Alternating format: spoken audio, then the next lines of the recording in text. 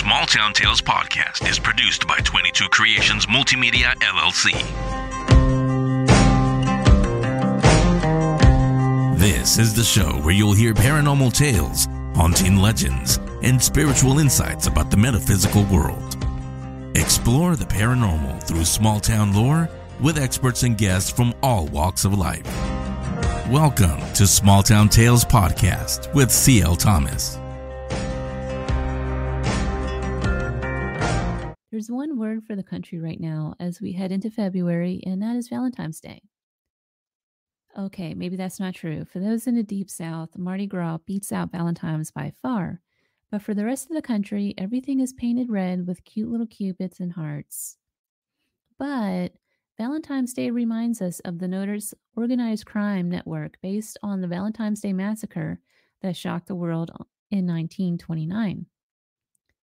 Gang warfare ruled the streets of Chicago during the late 1920s as chief gangster, mob boss himself, Al Capone, sought to consolidate control by eliminating his rivals in the illegal trades of bootlegging. Valentine's Day is the anniversary of when a rash of gang violence reached its peak in a garage on the Chicago's north side when seven men associated with the Irish gangster George Bugs Moran, one of Capone's longtime enemies, were shot to death by several men dressed as policemen. The Valentine's Day massacre to this day remains an unsolved crime. The city of Vegas has always been ground zero, a meeting point, if you will, for organized crime families across the country. In a 1963 book, The Green Felt Jungle, Ovid Demaris and Ed Reid were the first to expose Las Vegas' dark underbelly, discussing the role of mobsters, prostitution, and political racketeering in control of the city, they highlighted notorious mob bosses such as Benjamin Bugsy Siegel, Gus Green, Greenbaum, and Benny Binion. For those not familiar with Vegas, Benjamin Siegel, or Bugsy, he was the guy who built the Flamingo. And Benny Binion, we all know this, he built Binion's. Um, the lesser known casino with Binion is um, South Point, here on the south side of Las Vegas. This book, written by Mary Porters, is an important contribution to the early history of Las Vegas. The book documents a time prior to the transition from gangster control of the city to its cleanup and finally the purchase of the casinos by legitimate companies with the fall of organized crime. What a lot of people don't realize is even though we know the mafia as, as operating in the 30s during prohibition it actually was in effect. They they had a lot of control all the way up into the 90s. Movies and books have fascinated the world for years about the lives of major mob family players. My guest tonight will share his personal experiences of growing up in a mobster son, as a mobster son, and how he teamed with the FBI to bring down Chicago's murderous crime family. Frank Calabrese, author of Operation Family Secrets, will share his story right here on Small Town Tales podcast. Stay tuned after this. What if demonic activity isn't as rare as you've been led to believe? Author and creator of Small Town Tales podcast, C.L. Thomas, shares her terrifying demonic experiences that forever changed her life and the way she views the paranormal. From disembodied voices to poltergeist activity, shadow figures, physical scratches, and illnesses to literally losing her entire livelihood. C.L. Thomas takes the reader on a personal and chilling journey that she lived through herself. Learn why the Hollywood portrayal of demons is not accurate, and why a demonic infestation is more insidious than what you see in films. Dancing with Demons will be available in both print and digital. Order on Amazon and BarnesandNoble.com. Signed copies will be available through clthomas.org. Dancing with Demons by C.L. Thomas. Small Town Tales podcast continues. Tonight, we will dive into the story and perspectives of someone who has walked the shadowy paths of organized crimes.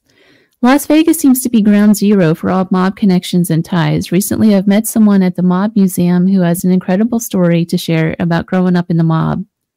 Frank Calabrese is the son of a mob boss, and he's here to share his story in his book, Operation Family Secrets How a Mobster's Son and the FBI Brought Down Chicago's Murderous Crime Family. Frank Calabrese Jr. is an organized crime insider and expert, and his book made him a New York Times best-selling author. From growing up in the mob to initiating a federal investigation into his father's dealings while in prison, Calabrese Jr. knows more than his share about redemption, courage, responsibility, morality, loyal, loyalty, criminality, and commerce. I'm very honored to have him on Small Town Tales podcast. Frank, welcome to the show. Thank you. Uh, well, uh, thank you for having me on. Frank, there's so many things to ask you, and we've met in person at the Mob Museum, and I'm so excited to have you on the show. Um, I really want to get you talking and to share as much of your story as possible. Um, so let's start with you growing up in the mob and what was your family connection exactly to this mob? Well, I'm half Irish, half Italian. I was born and raised in Chicago. On my Italian side, my dad and my uncle Nick were both high ranking made members of the Chicago mob. And on my Irish side, my mother's side, my grandfather, um, he was an Irish mob. He was a bodyguard and driver for uh, Miles O'Donnell, the leader of the O'Donnell gang, who was involved in a lot of historical shootouts with Al Capone. My uncle on my Irish side, Ed Hanley, started out in a local in Cicero with the Hotel Restaurant Employees Union, and the boss at the time, Tony Accardo, seeing his potential. My uncle wound up being the international president of the Hotel and Restaurant Employees Union for over 33 years. So that was my family background into this. Picturing the movie Perdition, if you've if you've seen that movie. I, did see it. I mean, it was a while since I've seen it, but uh, yeah, a little bit. You know, that's that's one of the things. Um, in Chicago, you weren't supposed to bring your kids in this life. You were supposed to make a better life for them. Over the years, the, the Chicago outfit started going more underground, getting away from violence as much as possible. And, um, you know, so as kids in the neighborhood, even though a lot of our fathers were in this life, you know, we didn't know much about it, nor did we care. It wasn't our life. It wasn't going to be our life. At what point? I know there's a there's a scene from that movie that I wanted to reference, and that's the part where the young boy finds out exactly what his dad did for a living, and it, it, it changed him um, completely in the movie, and he had a hard time dealing with that. Was that you? Um, um not really, because this was all very gradual. So in grammar school, we know our dads were different. We knew that. You know, I mean, one time when I had this show and tell at school, I says, "Hey, Dad, everybody's got to say what their dads do for work." I really don't know what you do. What do I tell him? He says, Oh, I'm an, I'm an engineer. And he says, Train engineer? He said, No, no, no. Operating engineer, local 150. Here's my uh, union card. Oh, okay. So, I mean, that was good enough for me. Um, in eighth grade, there was some articles in the paper. So, you know, early 70s, there's some articles in the paper. I was born in 1960 early 70s, some articles in the paper, Godfather comes out. So we had a little bit of an idea what our fathers did, but we really didn't know that much. Like I said, again, I was involved in sports. Uh, I was going to a Catholic high school for football and basketball. You know, I wanted to go away to college when I graduated. I was infatuated years later with, with law. So it wasn't a big deal. In high school, my dad slowly would show us, slowly he would groom you a little bit about what he was doing. And he put it in a way that, you know, I want to teach you about the street, teach street smarts, you go to school and learn book smarts. So, you know, these little tests or these little tasks for me at first were just like be a good son and do it for your dad. So I really didn't. It was not this big cultural change right away because a lot of this was so uh, prominent in our neighborhood also, even though it was underground. What kind of little tests did he have you do? Well, you know, uh, uh, one test he did was uh, I used to love cars, and I'd wash his car, my grandfather's car, my uncle's car, my mother's car. And um, one day, you know, I was going in there to wash the car. Well, you know, I'm going vacuum, and I lift up the mat, and God, there's thousands and thousands of dollars all spread out under the mat, all messy in 50s and hundreds. And the first thing I did was I locked the doors. I ran upstairs. Dad, Dad, what? I go, you know, there's a whole bunch of money in your car under the mat. He goes, yeah. Did you touch any of it? I go, no. Okay, so you know, I, those were the kind of tests. Now he started to see a, a lot of him in me because when he would give me stuff to do, I was good at it. Okay, I did have a lot of him in me. And he's seen. And the more that he's seen that, the more he slowly got me involved. And I, I really used the word slowly. So it wasn't all presented to me at first. He didn't say, hey, when you graduate high school, here's a mob handbook, an application. What about, you know, career in this life? No, it was more of do this for your dad, be a good son, I need your help kind of stuff. Did you have any siblings growing up? Yes, I have two brothers. I have a brother Kurt that's 16 months, 16 months younger than me, and a brother Nicky that's 11 years younger than me. So from there, when did you start getting more involved with the mob and your father? Well, through my years, some of the tasks he gave me. Um, first of all, we had the biggest loan sharking crew on the street.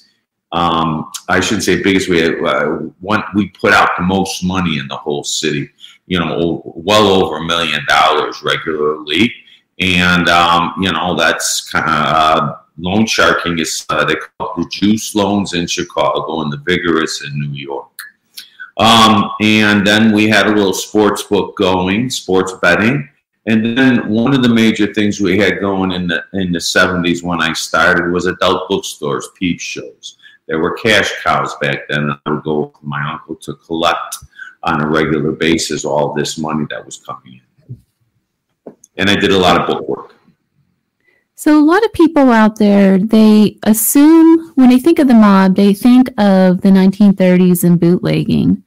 I think a lot of times they miss that mob activity went all the way up into the 90s. Is that right? Yeah, I mean, there's always going to be organized crime activity to this day. It just doesn't involve the Italian American mafia anymore. The players have changed. You know, Russian mob, the Asian mob, cartels, Middle Eastern, their gangs. So there's always a criminal organization. The game changes and the way to make money changes. You know, and it was just more than what you've seen in the movies. It's getting into uh, legitimate companies, uh, shell companies, uh, money laundering, and anywhere where there's a large amount of money to be made and you can manipulate your way into it there's going to be a criminal organization. That's what what I learned over the years was manipulation. Manipulation uh, um, is a very strong tool. You know, it has to do with perception and deception. You know, I want you to perceive me as a good guy so I can deceive you. I want to find out what you have that I can take. And when I find it out, I'm going to work on your vices and weaknesses to get it from you. So, what was the relationship with your dad? Um, first growing up, and then once you got older, as you got more involved with the organized crime. My relationship with my dad as, as, as a young man, I shouldn't say young man, as a teenager, as a kid, um, you know, we had a great childhood. My dad never brought the street in the house okay? And i idolized my dad and i used to be with him all the time. I wanted to be like him like every son you know idolizes their dad. You know he was home every day pretty much at five o'clock. That's when dinner was supposed to be put on the table. We had to make our beds. We had chores. Never spoiled us he, he, he, he taught us accountability for our actions he taught us to respect your elders, respect women, don't swear in front of them. You know, also don't be a bully. You know, there was a story one time when I was young. You know, when I started, I wasn't like I had a toothpick in my mouth and I was standing in the corner with all these big muscles and people feared me. You know, as a young kid, I looked at Opie Taylor, Ron, Ron Howard from uh, Mayberry RFD. And I was so shy, I didn't even want to go to school, let alone go to birthday parties. It got so bad. My parents, you know, I was getting in trouble because I didn't want to go to school. And then they said, look, if you don't go to the birthday party, you're going to stand in the corner the whole time. I'd rather choose the corner. One day, one of the neighborhood bullies started beating me up. I'm on the ground crying. I finally had enough. I didn't even know I had it in me. I wound up biting me between the legs. I got on top of my beat the crap out of him. I ran home crying, hiding in the basement, chicken. The doorbell rings. It's the bully and his mother. The mother's screaming at my dad and my grandfather about hospital bills. He pays him the money. He comes back. Frankie, son, son, relax. Hold on. Any son of mine that stands up to a bully, I'll probably pay a hospital bill. If you are the the bully, I'll break your legs. You know, at the same time, my grandma, my grandfather's like, Frankie, why you gotta always cry? You beat up the neighborhood bully, crying. You know, so again, you know, he taught me all of this, and, and, and to this day, you know, I, I, I don't like violence. I was involved in it one time, but that doesn't mean I had to like it. I like to have a good time with everybody. I, I like people unless they may reason not to. So, how did that relationship develop moving forward as you got into the the crime? Um, I remember when you were telling your story at the Mob Museum, um, you said at some point you were kind of fearful of your dad. Yeah, I, I always feared my dad um, uh, for a lot of reasons. But as I started getting older, my dad was got faster with his hands and he couldn't control his temper. And it seemed like the street, to not just to me, but all the family members, that it seemed like the street was changing my dad. And we started noticing that more paranoid, more controlling, more manipulative, and more violent with family members. And that's when we first started to see these changes that was starting to concern me a little you know, and, and, and because he's a family member, you always have the codependent. Oh, he's just going through a bad time. He's going to be okay. You know, so you're always hoping that this ain't going to last long. And it wouldn't last long a lot of times. You know, one day he'd lay a hand on you, and then then for weeks he'd be this great dad. Then all of a sudden one day you do something that he didn't want you to do, and you catch a crack in the face or in the back of the head, and, and, and you just see this animal right away. So it would play with our minds, and it was starting to concern me. Now, in my early 20s, you know, I was introduced to another part of the mob that I had that I didn't know my dad was involved with, and that was murder. Murder for hire, murder upon orders. My dad and my uncle were one of two hit teams that the bosses would bosses in Chicago would use. They wanted somebody dead and dead done done right. Night in my early 20s, my dad comes home from his night at work. His adrenaline's going. He goes, We got to talk. We went in the bathroom. We turned on the vents, water. He said to me, He goes, Remember, I told you there's rules in the neighborhood?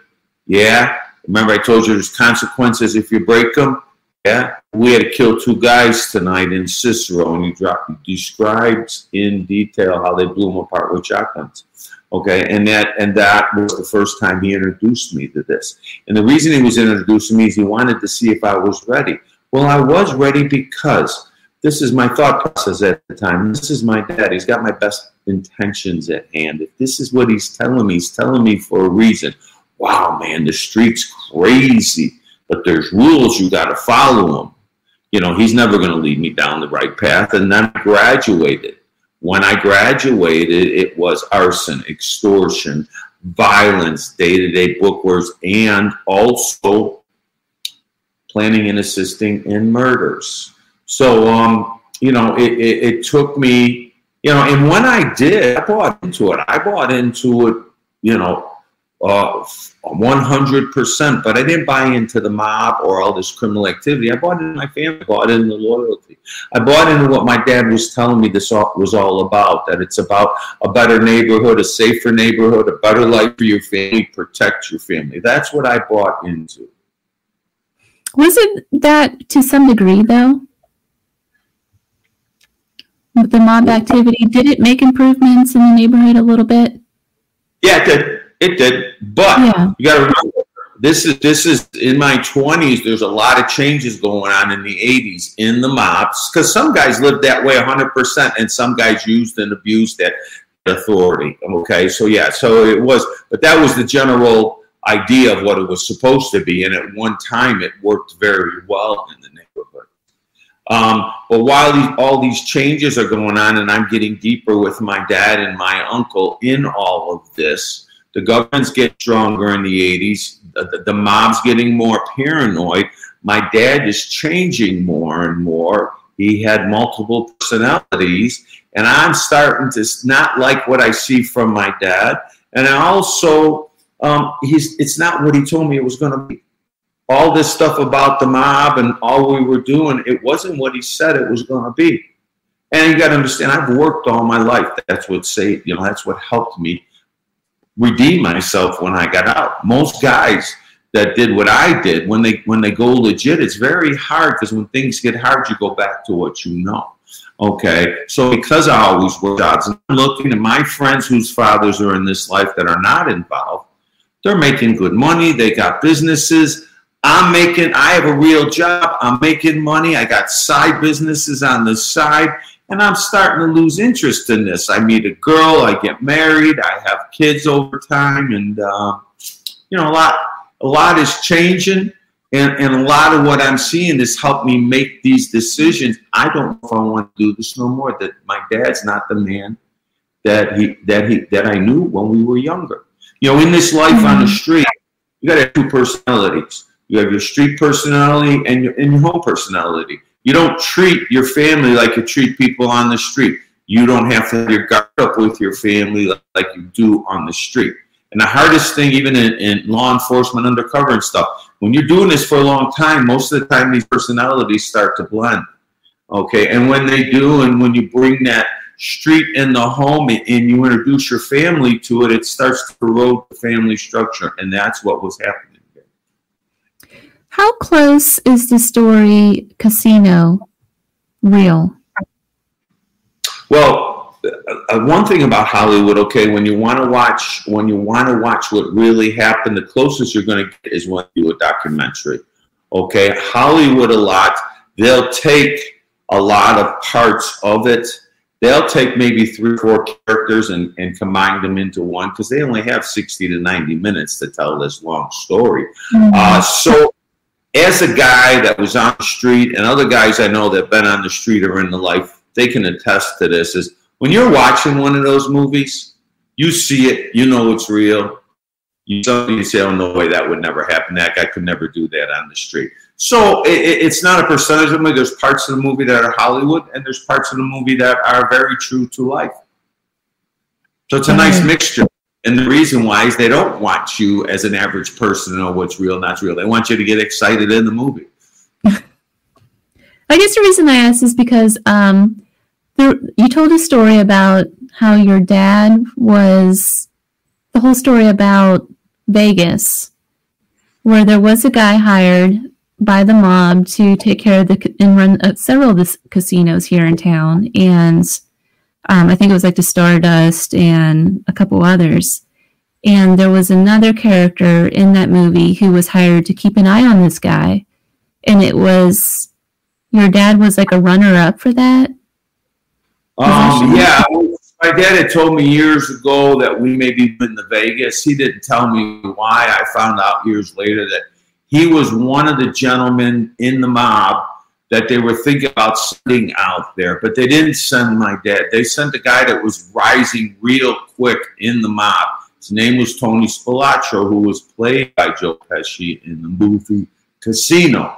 Tony was a rising monster like my dad in Chicago. He was violent like my dad. He was a natural leader like my dad, and the bosses loved him like they liked my dad at one time.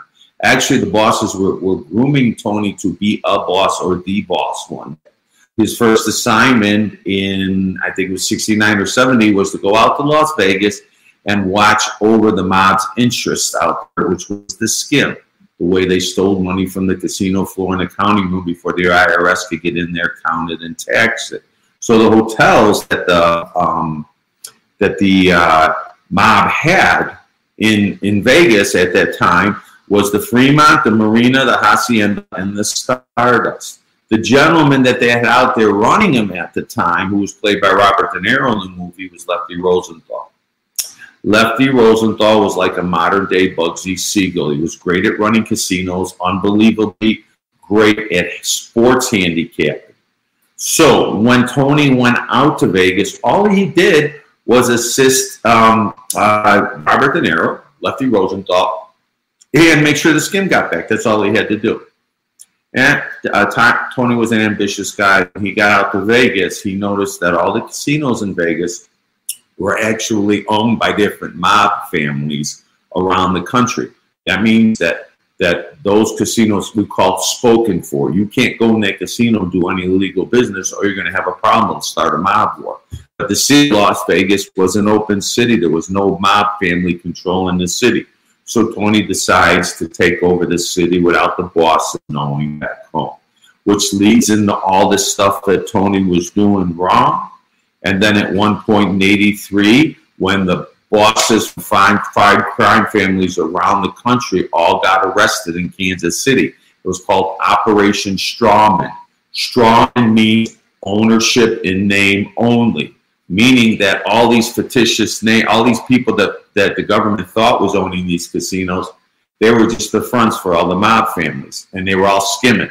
So when all the bosses went to, to trial in Kansas City in 1983, they were all found guilty. They started looking into Tony and they found out that Tony was causing a lot of problems. So they put a hit out on Tony. They send a hit crew. At the time, my dad was recovering from surgery, so my uncle was part of that hit crew. In the movie Casino, showed you getting them killed in a cornfield. In real life, our case showed where they really got killed in a basement in Chicago, then buried in a cornfield. And there were convictions on that. Case. How many deaths do you think occurred in the Las Vegas area from mob activity over the years? Oh, I, I, I, you know what? It would be a total guess. I could, you know, I mean, the purpose of the mob being out it was not to kill people. You don't, don't bring heat. Don't kill people in the neighborhood. Don't bring heat where you're doing business. The mob, a lot of people thought the mob tried to take over Vegas. They weren't take, trying to take over Vegas. They just wanted a piece of it. And but naturally, when you add in human error and stuff, so I don't have any idea how many people. You know, I know there were convictions. There were some, you know, quite a few convictions on people getting killed, but you don't know because a lot of times they're killed and the bodies are buried, so they're never found again. Right. And the way there's a special way that they bury them, right? So that well, the cadaver knows. A lot of different ways depending on who does it. I mean, one of our Tony Spilotro's tricks and a few guys in the Chicago outfit is in the desert. The ground is hard. So you can't go out there with a body in your trunk and stay out there for six or seven hours digging a hole. Um, what he would do is pre-dig holes. You put plywood over it. You put dirt on top of it. You put a marker on it. Um, when you come out to throw the body in the hole, you bring a dead animal carcass. You fill it up halfway then you throw the animal in, you fill it up to half the other half. This way, if somebody's digging down, they see it, they won't dig further. If you have cadaver dogs, they won't be able to tell, they'll be confused. Um, so that was one of the tricks. When Lake Mead started draining, you know, a lot of people I know were reaching out. Hey, do you think it could be this person? Do you think it could be that person? You know, again, that that's a different. I don't know but that's a different type of style because remember you have to you have to have a boat you have to get a car to a boat most boats are in marinas so now you got to transfer the body from the car to the boat so if you're going to uh, kill somebody and, and, and drown them in the lake you'd have to get them on the boat to go out for a ride alive and hope nobody's seen you guys on the boat so I don't know, and I had no knowledge of if anybody did. I know there was a lot of bodies buried in the desert by Tony Spilotro that have probably never been found. And for those listening, what he's referring to at Lake Mead is um, over the last two years, I'd say they found about seven bodies that washed out of Lake Mead, and one of them um, was a suspect for criminal activity because he was in a barrel um, with cement or something. His feet was in cement inside that barrel when they found it. But and it, again, they said that that was found. The body was found in the seventies. So he disappeared. Yeah. Something like that. Yeah, yeah. You know, and again, a lot of copycat crimes too. You know, at one time there were guys that were put in barrels with with weighted barrels with holes in the barrels so the water would get in there, and they killed them like that. You know, or or you know they they they used a bucket and put their feet in there and um, chained them up and just let the concrete dry and then threw them you know, in the water too. I mean, there's a lot of things, but then there's a lot of copycat crimes too. So you you don't know for sure. But it, it, yeah. it's, it's interesting. You know, nobody ever thought Lake Mead's to start going down, and now all of a sudden. But you do see in movies a lot, which happens in real life, is somebody buries somebody somewhere, then all of a sudden it's in construction or something like that, and they literally have to go over the bodies. I mean, it was done a couple times in Sopranos. Um, I think in uh, John Gotti's story, they were talking about how they had to move somebody or something. So it does happen. Um, one of the, the one of the legends here in town is they think that there's bodies buried underneath, Par- um, not Paris, but the pyramid, the Luxor. Oh, okay. I've always heard that, but I don't know what the connection i don't know if there's any connection to the mob or not but it's but there's a story about people being buried underneath there concreted over and everything when they were building it but i don't know well, the full know, story yeah and that old saying 86 was eight miles out from the city and six feet down you know and at one time, you know, the Luxor was kind of outside the city, not eight miles, but it's outside the city you know, so um, it very well could be. Somebody knows life. It's interesting. Well, Frank, we have to take a quick break. Um, when we we will continue this discussion with organized crime insider and author Frank Calabrese in his book Operation Family Secrets: How a Mobster's Son and the FBI Brought Down Chicago's Murderous Crime Family. After this, do you want to experience a real Cajun country spooky Paracon?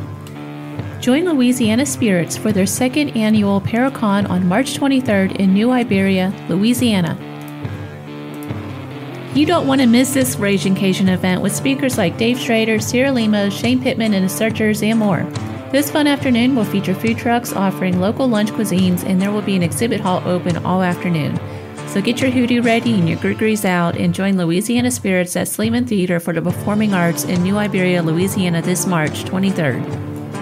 Visit www.laspirits.com for more information. That's www.laspirits.com.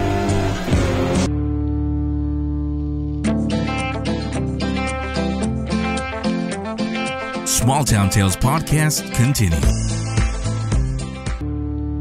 And welcome back to this episode of Small Town Tales podcast. If you are just tuning in, my guest, Frank Calabrese Jr., author of the book Operation Family Secrets, how a Mobster's Son and the FBI brought down Chicago's murderous crime family. Frank, what led you into going against your own father and cooperating with the authorities? What brought you to this point?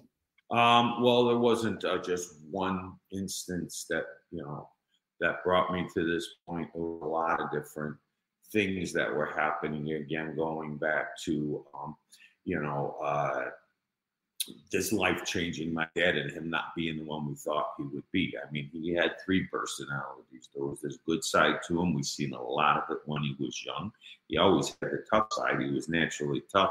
And uh, he also always had a problem with his temper and he always tried to control it. But this nice guy was one. And then there was this street guy that was very, very, very street smart and very manipulative you know, I learned a lot from that character over the years. I just use it in a positive way now and I actually used it against my dad when I went against him. And then the third side of my dad is a sociopathic killer who was convicted of killing 13 people, killed a handful more that I know of, okay, that he wasn't convicted on. And um, the way he killed you was with a rope and a knife. He'd strangle you when he knew you were dead. He'd cut your throat from ear to ear in some law enforcement circles, in some circles in Chicago, they called it the Calabrese necktie, which was derived from the Sicilian necktie. Um, and it got to a point where I had my family now. I had some successful businesses. Me and my dad were bumping heads. And dad was the kind of guy that if you said no to him, he looked at it as being disrespectful. Also, if you it was all or nothing with him, and if it wasn't all with him, and he couldn't control you, that means you do everything he says without question. Also disrespectful. The manipulator that he was, this was the final one of the final straws with me was one day he called me about working on relationships and meeting for coffee. So he said, Meet me over by the park. I went over there. I hopped in his truck to go for coffee. On the way there, he goes, Hey, I got to stop at the garage for a second. Take a walk with me. Finish that story. I get in there. I walk in the garage. We're laughing. All of a sudden, the door slams. I turn around. He's got me by the neck. He's got a gun in my cheek, and he's got this glassy eyed look. He says, I tried controlling you. You're uncontrollable. I'd rather have you dead than you keep disrespecting me. But don't worry, I'll respect you. I'll come to your grave and, and bring flowers. Oh my God, I got set up. I thought I was too smart to be set up. They always say somebody close to you. He's going to kill me. He's going to bury me somewhere. My kids are going to go through life. I'm trying to get them away from this. They're going to wonder whatever happened to their dad. I got to get out of this garage. I'm trying to hug him. I'm trying to kiss him on the cheek. I won't break eye contact. I'm crying and I'm using trigger words. Dad, I'm your son. Mom, kids, wife. What's going on? I I don't know what I said or did that night, but I got out of that garage. And from that point, and my dad was the kind of guy that said, don't ever pull a gun on somebody and not finish it. It will come back to bite you in the rear. And I went and got that gun. And from that point on, I never trusted my dad again. And our relationship was really, really in a bad place. Not only our relationship, but me. I'm in a bad place now. My dad tried to kill me. The government's getting stronger. Um, the mob's getting more paranoid. I got this wife and kids. And I got to straighten out. I did a lot of bad things, okay, and I was doing a lot of bad things, and I just didn't want to do it anymore. I wanted to get away from him, and I'm walking around with Duck's gun, and I'm thinking, what's going to happen next? How much worse could this get? So, when you cooperated with the law enforcement and authorities, how was that set up? So, back to what I was just telling you, how much worse is it going to get in 1995 in July. We got indicted on the last day of statute limitations, a 10 year old case. Uh, me, my dad, my uncle, my brother, and about seven other crew members for running a loan sharking racket through threats, intimidation, and extreme violence. The whole time I worked for my dad. I first seen this happen, my first thought was prison, jail was going to be my way out it was going to be my way away from this man that's trying to control me and won't let me go. It's going to straighten me up, and I could come home and be a family man and get on with my life. I needed prison. Again, I wasn't a victim. So when we all pled guilty and we all got into prison, the first day I woke up in prison, I felt like a million dollars. I was in a maximum security to start, and then I was going to be there for about six months at the end of it, right around the six month point, they, they transfer you out because I got five years and I couldn't I couldn't stay there any longer. Now everybody else in the case pled guilty, and except one guy. He was offered three years. He pled guilty and he got ten. He got ten. I got five years. My dad got twelve. My uncle got seven. My brother got two. The rest of the guys got a hand. A couple, a couple, two, three each.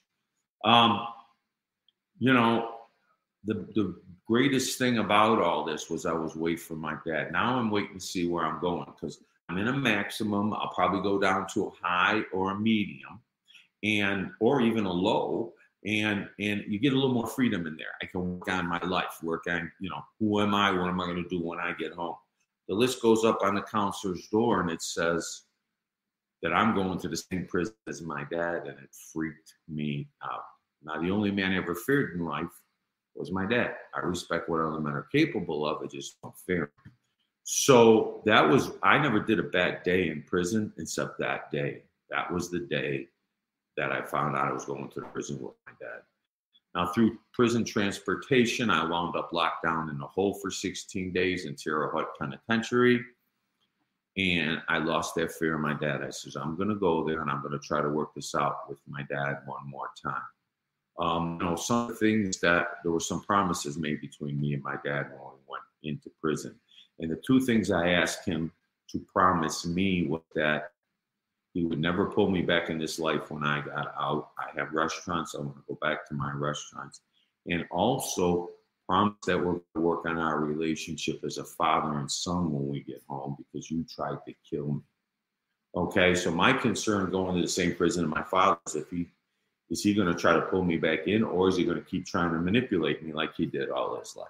So I was down six months. I wound up in Milan, Michigan, and for the eight month, the next eight months, I was working on my relationship with my dad. Now he's seeing me doing real good time, and we were talking a lot. And I noticed he's starting to manipulate me again. He's the same old dad. He's trying to involve me in stuff. He's trying to bring me back in. And I realized at one point, it's all or nothing with him. If I don't go back in with him, he's going to finish what he started one night in that garage when we get home at some point. So that's when I had to make some choices. Your dad had a hit on you, right? Was that before or after the prison? No, that's. Yeah, when he found out I was cooperating. So um, there's there's you know sometimes you got to make a decision that I talk about, and sometimes all your choices stink. Okay. And so I came down with two after days and days and days of thinking. And also remember that a lot of what my dad taught me, you know, when you're making a big decision, don't make it out of anger. Sit down and look at all the options and make sure you can live with that decision. So I came with two. One, wait till we get back on the street and confront my dad on the street. Here's a man that's killed a lot of people, very good at it. And the only way I can get I, I can get the edge on him is when he gets out, just try to kill him right away. Now, morally, that that I didn't think that was right because my dad that day in the garage, he tried to kill him, but he didn't. So it was one other option I thought about, and that option was keeping him locked up forever. How am I going to do that? In my neighborhood, the worst thing you can do is be a rat or be a snitch. The FBI, contact the FBI, they're our enemy. So I thought of a business proposal with the government. I didn't know if it could be done. I don't know if anybody done it before. I said, but it don't hurt to try. I helped them keep my dad locked up forever. So I sent this this letter out, the infamous letter that I said to him after being down, locked up 14 months. I sent the letter out, and you know, and in the letter, I, I, didn't put anything personal in there. I typed it for no handwriting. I wore gloves for no fingerprints. And basically, I said, Come on out. I want to talk to you. Nobody can know for my safety, not even my lawyer. Okay. Don't bring no recording equipment. Just bring a pen and paper. I want to help you against my dad. I feel like I have to help you keep this sick man locked up forever. And after some time later, they came out. And that's what turned into me starting cooperate. And what I did was to get my dad to incriminate himself because he was so street smart. I wound up wearing a wire in prison that the warden did not want to okay because he said, No way, it's only in movies. This kid's going to get killed in my prison. But at the last minute, because of a court order, he said, Okay. Now I got to incriminate the smartest man I know on the street that caught guys twice on the street. And later on, when I was working with the FBI, caught onto a ruse that the FBI was working on one of the guys that bought into it totally. And my dad said right away, that's the FBI. They're trying to set you up. Don't do nothing. That's how smart he was. So what I did was I knew him better than anybody. I went out on the yard without a wire and I said, Dad, I said, one more time, I'm willing to work on our relationship. I go, I got major issues with you. You don't even know half of it. I says, and if we don't work it out, you're dead to me. I said, but if you, we do work out, I've decided I want back in the crew when I get out. That's when my dad eyes lit up. He goes, yeah, let's talk tomorrow. And that was the beginning point of, of me starting to cooperate. During that time, you know, my dad taught me when you want to get people to talk, um, anger and liquor get them to talk. My dad always had an anger problem and a temper pit one person against another. He was mad at my uncle for telling people on the street he didn't pay for the crew's lawyers, which he didn't do. But my dad got mad at telling my uncle telling people So I got my dad so mad at my uncle during this that uh, he put out a hit on my uncle in another prison. He sent his blessing saying that there's a problem. He's not going to stand up, do what you need to do. You got my blessing. They tried to do something to my uncle. It got blotched. My uncle started cooperating. This is what turned into the biggest trial in Chicago since the days of Al Capone. Operation Family Secrets. They dubbed it that because I cooperated against my father. See, when I sent that letter, I didn't want to be obligated to the government. So I told them I'll do all my time, pay all my fines, no immunity, but I'm only helping you against my dad. Oh, that was my deal with them. Okay, and um, and they really, as far as I know, till this day, they really never had anybody that came forward like that. Usually, when guys cooperate, they do their time, they're jammed up on another case, or somebody put a hit on them or something. So that's what turned into the biggest trial, and also it took down what was less left of the Chicago mob um, for a couple of reasons. Number one, it was the first time in the history of Chicago that a high-ranking made member, my uncle Nick, uh, testified, and he and he decimated the mob. If you go back all the way to early 1900s, this trial was in 2007. Um, there was a little over 1,100 documented gangland slayings with only 14 convictions. In this case alone, 18 convictions. My dad was charged with 13 murders, and there was close to 30 murders that were solved you know, because of the RICO Act, if you can prove the organization did two criminal acts every 10 years, you could go back another 10 years. In this case, they went back 40 years. Also, oh, wow. when the trial started, they I found out my dad put a $75,000 hit on my head and $70,000 hit on my uncle Nick's head. Now, my uncle Nick was in witness protection prison. I passed on witness protection. I had my reasons and, um, you know, so I was out on the street. Were you scared? No, I wasn't scared. I mean, I, I, I don't scare easy. Um, but you know, I, I, know my dad and knew him better than anybody, and he stiffed a lot of people, and he doesn't like to pay. And a lot of people didn't like my dad on the street. Um, I just didn't feel that um, he could get somebody to do it. But I still had my guard up. I was still aware of my surroundings. Again, I am one of these people. I think like them. I know how they look for you. I'm not. See, another thing I did was I got word out to a lot of guys that I could have gotten in trouble, you know, and, and I says, hey, this is between me and my dad. I know you don't agree with what I'm doing, and, and that's fine. That's beside the point. I just gonna tell you, you stay out of it, and your name will never come out of my mouth. I give you my word. And the trial came and went, and they seen it. So you know, I and I also got lucky because when I first got two guys got killed, they would have came after me no matter what. They were close with my dad, and another five guys that would have came after me also died naturally in a short period of time. So you know, it was kind of ironic that it was almost like I had somebody on my side. You know, uh, so, um, you know, I, I, had to live my life. And um, I always had to give my dad the reason I passed on witness protection is I had already put my family through enough. I didn't want to put my kids and my wife through that. And also, um, I'm not one to run and hide. And the way my dad thought, if he couldn't get to me, is somebody I care about and do some possibly do something to them.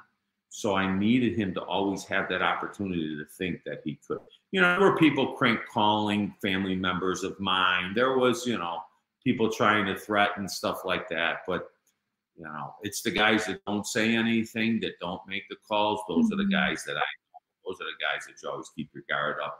Um, if I see them around me, I would have been concerned. But I also stayed out of their way too. You know, even to this day, there's certain places I won't go because there's some guys I respect are capable of, and why should I go in that place to make them have to do something? It's like right. challenging them. You know? So I'm, I'm just showing them that respect slash courtesy so that they're not like, ah, we got to go get this guy. You know, I'm not making it personal. Was your wife scared while this was all happening? Yeah. Yeah. Yeah. She was. We actually got divorced in prison. That's how scared she was. Oh, wow. And when I first prison because I never suffered a day in prison. Well, that one day I told you when I found out I was being transferred. But it's your wife, it's your kids that suffer. Okay, not us. I'm a street guy. I know how I know how to survive, and I did survive in prison. Um, you know, when I got out, she was so scared of my dad, and she started she started to get scared of me because people were in her ear that she divorced me.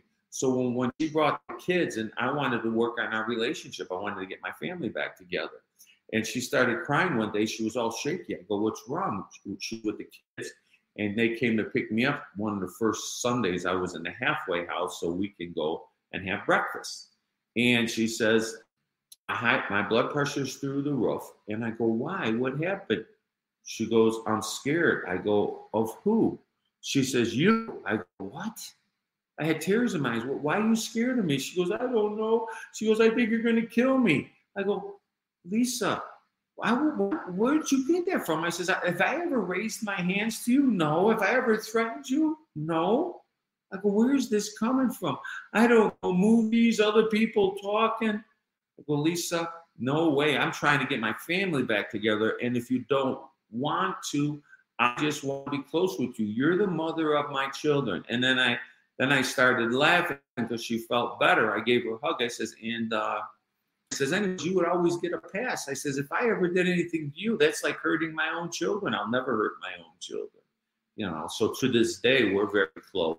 You know, we each have our we each have somebody in our life. We we we wound up trying it for a little while, and it was just too much history. And we became very close, and, and we're friends, and we raised the kids together. So even though my dad's been dead since 2012, she still sometimes when she drives and sees him in the rearview mirror following her. That's how spooked she was. Wow. During that trial, when you had to testify against your dad, what was that like for you? Was that hard?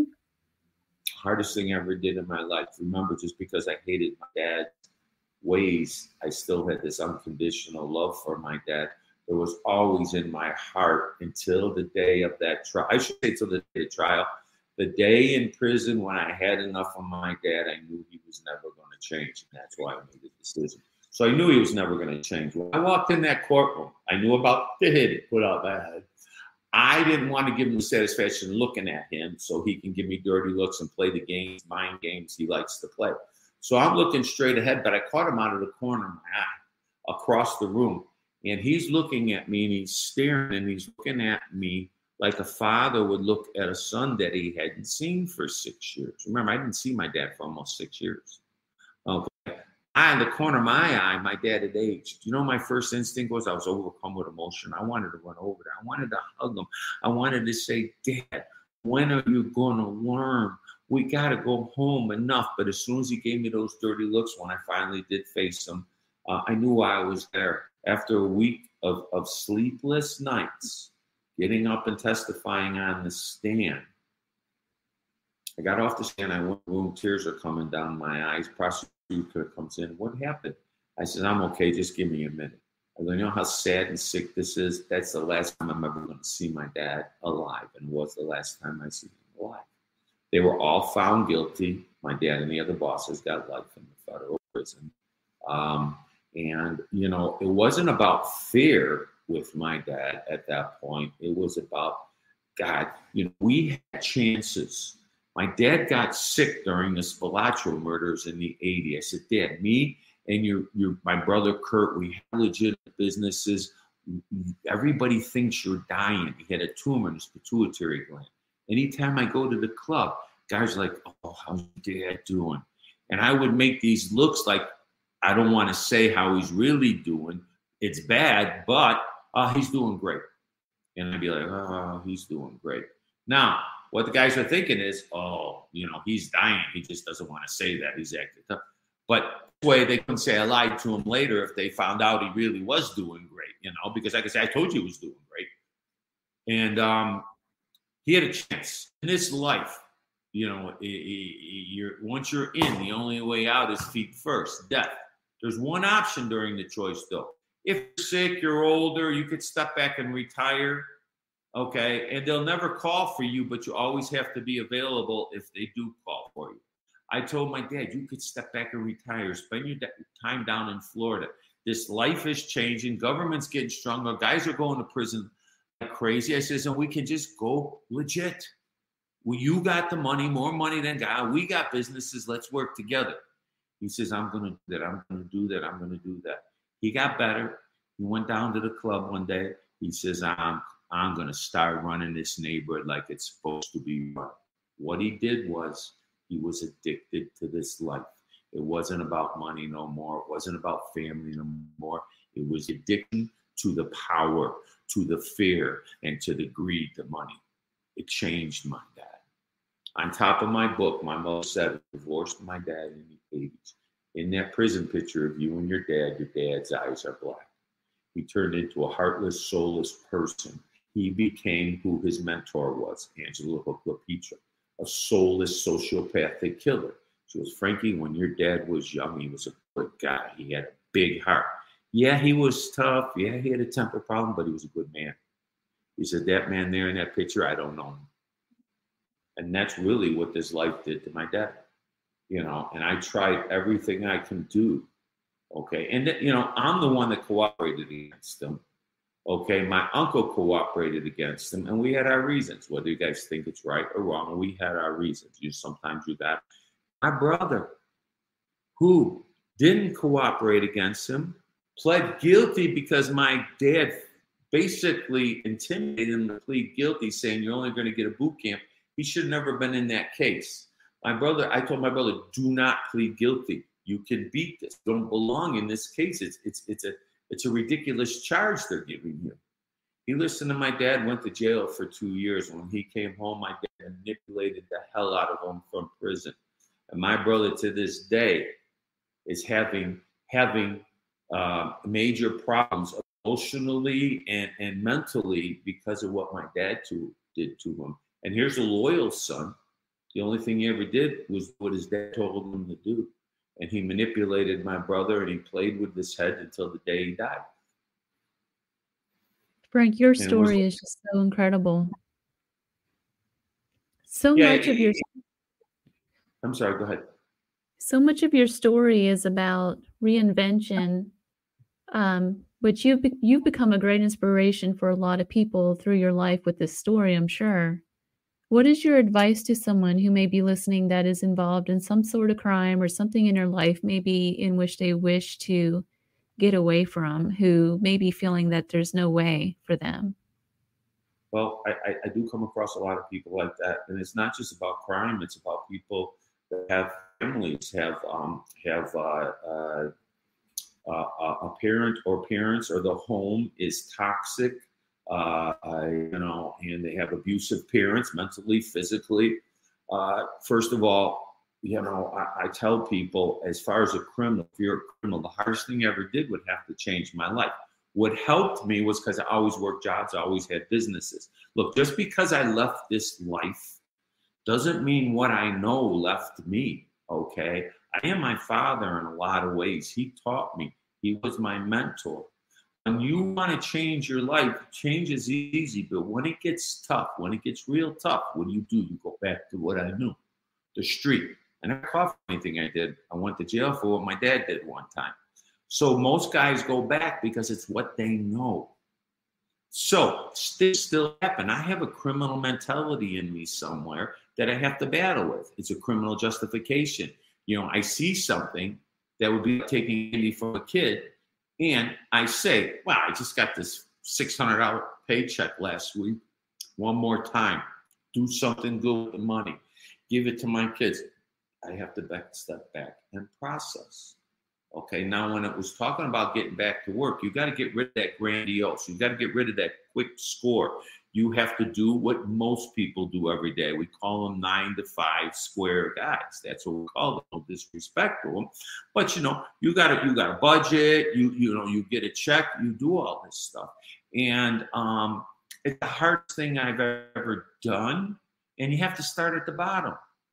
So, you know, if I'm going to start as a toilet cleaner, I'm going to use everything I know to, to, to kill that job so I can move up as far as fast as I can and earn what I got from everything I learned on the street. I just use it in a positive way.